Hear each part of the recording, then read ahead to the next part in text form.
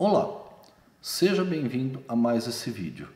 Aqui é o Sérgio Nogueira do radiestesia.net nesse vídeo eu vou abordar alguns mitos da radiestesia que são muito comuns, que nós vemos em várias fontes aqui da radiestesia, principalmente da radiestesia brasileira. Então eu vou falar um pouco acerca desses mitos e explicar por que eles são mitos, tá? Uh, eu já fiz uma versão desse vídeo há muito tempo atrás e agora estou refazendo. Então vamos lá. O primeiro mito. O incrível caso da cordinha assassina. Esse é um mito que realmente ele é muito popular aqui no Brasil. Fora do Brasil eu nunca vi. Mas de acordo com, com essa ideia, o que, que acontece? Quando nós utilizamos um pêndulo qualquer, nós devemos ter muito cuidado para que a correntinha desse pêndulo esteja totalmente na palma da nossa mão. E não, não pode, de maneira alguma, essa correntinha escapar. Porque, de acordo com esse mito, se acontecer dessa correntinha aqui escapar e ela ficar pendurada enquanto a pessoa utiliza o pêndulo, quando o pêndulo estiver girando para um lado, a correntinha estará girando para o outro lado e isso fará com que seja gerada uma energia muito, muito negativa, muito nociva, tá? Olha, gente, esse mito, assim, eu acho, dos que eu vou abordar, eu acho até o mais interessante, porque ele não tem sentido nenhum, na verdade, tá? Não tem nada dentro da literatura da radiestesia, você não encontra nada dentro da radiestesia, nem clássica, nem moderna, nem em lugar nenhum. Mas ele é um mito que tem uma vitalidade imensa.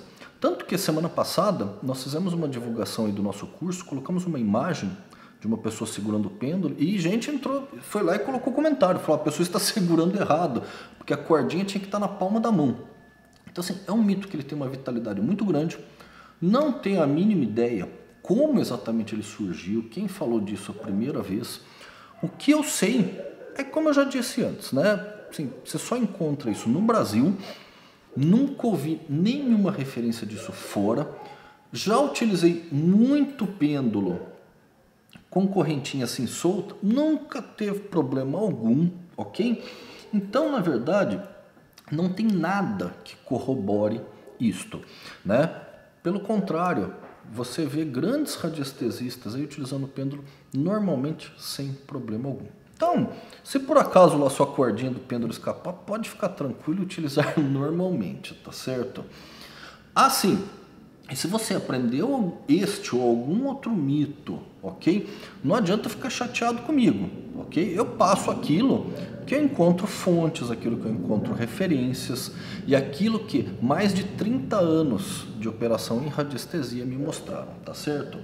Vamos aqui ao segundo mito.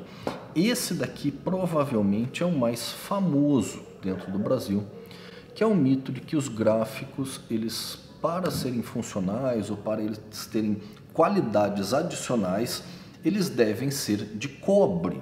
E por quê? Segundo esse mito, porque o cobre ele tem um resultado melhor, porque o cobre é condutor, então ele faria um, um serviço melhor para gráficos outro mito. Não tem sentido algum, não, não faz diferença alguma, ok? O que acontece é o seguinte, o cobre realmente ele é condutor de eletricidade. E quando nós estamos falando da questão das formas, não tem o fenômeno elétrico exatamente envolvido, tá? Então, não tem essa história de que se for de cobre realmente é melhor. A, a gênese dos gráficos de, de, cobre é até simples de ser explicado, porque o Antônio Rodrigues, esse célebre radiestesista, ele foi um dos radiestesistas que desenvolveu a ideia de se fazer gráficos em fenolite, que é esse material que fica cobreado, tá? E aí ele explica de uma maneira muito simples que a ideia por trás da criação desses gráficos era simplesmente ter gráficos que é, pudessem ter uma durabilidade maior na época, já que a maioria dos gráficos eram feitos à mão e a durabilidade deles era muito pequena, não existia um processo industrial ainda para gráficos, né? Então a ideia era formar, fazer gráficos que tivessem realmente uma maior duração. E curiosamente, com o tempo, o Antônio Rodrigues e alguns, algumas outras pessoas que iniciaram essa ideia do gráfico feito em fenolite, com esses traços de cobre, eles abandonaram, porque eles entenderam que na verdade não havia ganho nenhum, ao contrário, havia algumas perdas. Porém, algumas pessoas deram sequência a essa ideia e aí começaram a propagar a ideia de que esses gráficos eles eram melhores. E como eu disse mais uma vez, você não encontra isso em local nenhum. Isso é uma coisa muito da radiestesia brasileira. Terceiro mito é aquilo que eu defino como a síndrome de oráculo, que é basicamente a ideia que nós podemos pegar aqui um pêndulo e começar a fazer perguntas sobre o futuro, né? Por exemplo, Leandro Kavilac, ele está me devendo um café lá na casa dele, rapaz, ele nunca me fala desse café. Sabe, o Leandro ele vai, ele vai me pagar esse café aqui o mês que vem? Né? Então, isso seria síndrome de oráculo. Tentar utilizar a radiestesia para prever o futuro, ok? Um, qual que é a questão aqui? Veja, quando um radiestesista ele vai em um terreno e ele localiza a água, ele não adivinha que existe a água ali, ok? Ele capta aquela informação, ele percebe aquela água que já existe, tá? E então isso é muito diferente do processo divinatório, isso é muito diferente do processo oracular. Algumas pessoas, contudo, elas têm muito essa ideia de utilizar a radiestesia como um oráculo, tá? E veja, às vezes nós podemos ter até o mesmo instrumento para usos diferentes. Vamos pegar um martelo, por exemplo, né? Um carpinteiro usa martelo, ok? Um ourives usa martelo. Um escultor usa martelo. O dono de casa tem o seu martelo de carne. Né? Veja bem, o instrumento é o mesmo, as utilizações são diferentes e são disciplinas também diferentes. Algumas pessoas pode ser mesmo que elas consigam utilizar um pêndulo, o instrumento, e com isso conseguem ter aí algumas respostas sobre o futuro. Tá? Então assim, a ferramenta ela pode até ser a mesma, a técnica não é. A radiestesia, a ideia da radiestesia não é mesmo uma previsão sobre o futuro. Qual o problema desse mito? O problema desse mito, basicamente, é que faz com que muitas pessoas, todos os anos, desistam da radiestesia. Porque muita gente acaba chegando na radiestesia com essa ideia de previsões, e quando boa parte dessas previsões não se concretizam, as pessoas desanimam da própria radiestesia. Tá? Então, por isso que é importante abordar este mito. E o próximo mito, ele vai meio de encontro a esse, que é o que eu chamo da síndrome de Google. O que, que é isso?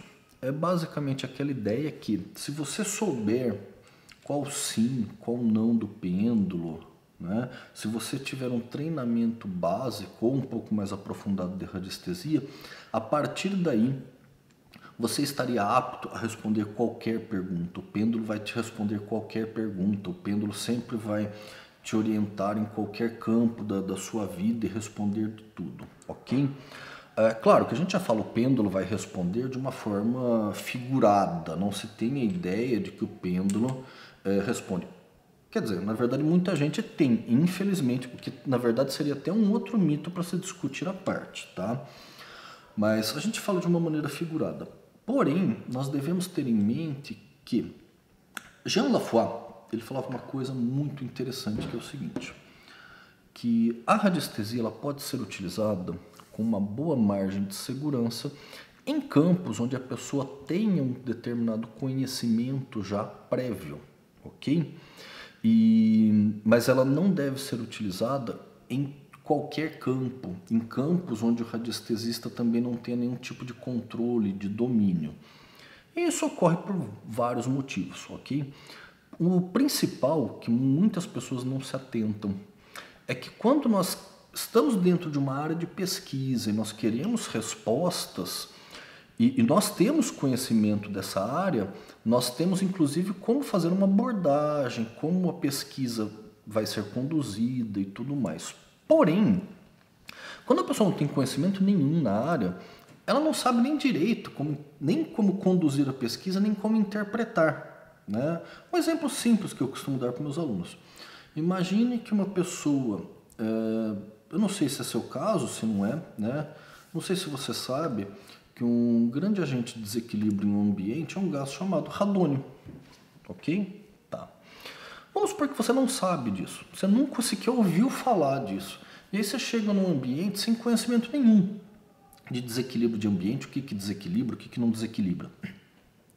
Se você não tem conhecimento nenhum, qual a possibilidade você acha que existe de você detectar a presença do gás radônio naquele ambiente? Se você não sabe que existe o gás, se você não sabe que ele desequilibra o ambiente, se você não sabe que ele é a segunda maior causa de câncer de pulmão no mundo ainda hoje, se você não sabe que aquilo né? É um elemento radioativo que se acumula no ambiente. Né? Então, entende, a radiestesia, é, o Marcos Almeida até usa muito essa frase, né? e eu sempre gosto de referenciar essa frase.